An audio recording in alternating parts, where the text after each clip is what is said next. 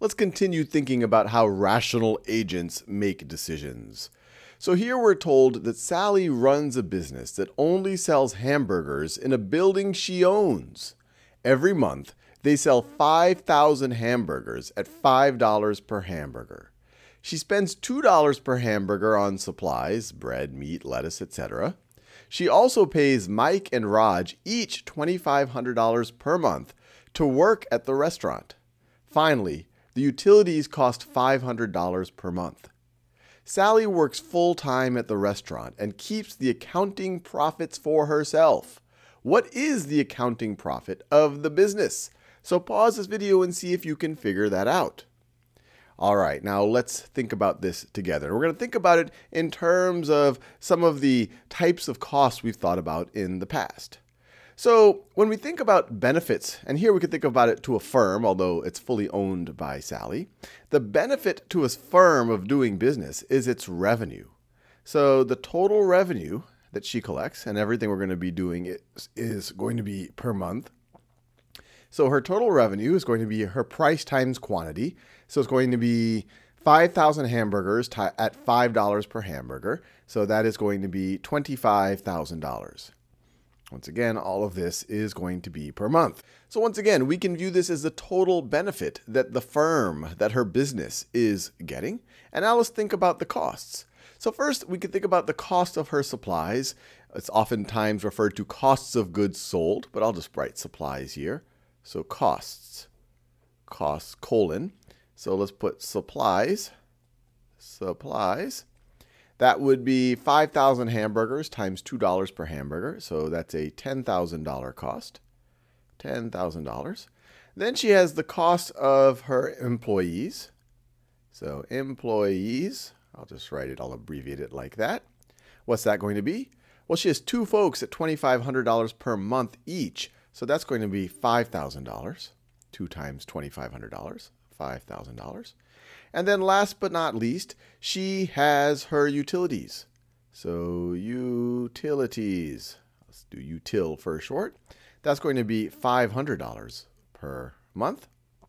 And so from this, we can calculate the accounting profit. So we get the accounting profit, accounting profit is going to be 25,000 minus 15,500, that's going to be $9,500 per month. And she gets to keep all of this. And so this seems like a pretty good amount of money to be earning. She's earning six figures a year. But the question is, is it rational for her to do this? Well, some of you might be correctly thinking, well, in order to determine whether it's rational for her to continue running this business, we have to know what the implicit costs are. Here, we've only just looked at the explicit costs. And the most important of the implicit costs is the opportunity cost. And to factor that, we have to know well, maybe what she could have rented her building out if she wasn't running this burger business, and maybe what she could do with her time if she wasn't working at the business full time. So we need a little bit more information, and let's see if we can get that. So now we are told that Sally could rent out her building for $5,000 per month. She can also make $6,000 per month as an accountant. Based on this, what is the economic profit of her business? So pause this video and see if you can figure this out. Well, one way to think about it is we can start with our accounting profit and then subtract out all the implicit costs, especially these opportunity costs right over here. So her opportunity cost, opportunity costs are going to be per month. Well, if she doesn't run this business, she could rent out her building for $5,000 per month. And that if she wasn't doing this full time, she could make $6,000 per month as an accountant. 6000 dollars right over there. And so her opportunity costs are a total of $11,000.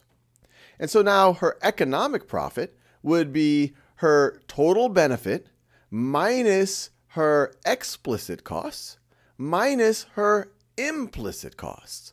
Her economic profit, economic profit is going to be, well, we could start at the 9,500 and subtract the 11,000. It is negative $1,500.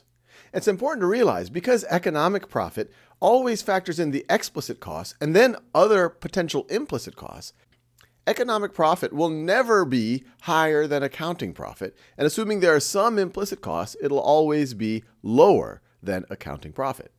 So now, based on all of what we've explored, is it rational for Sally to continue running her burger business?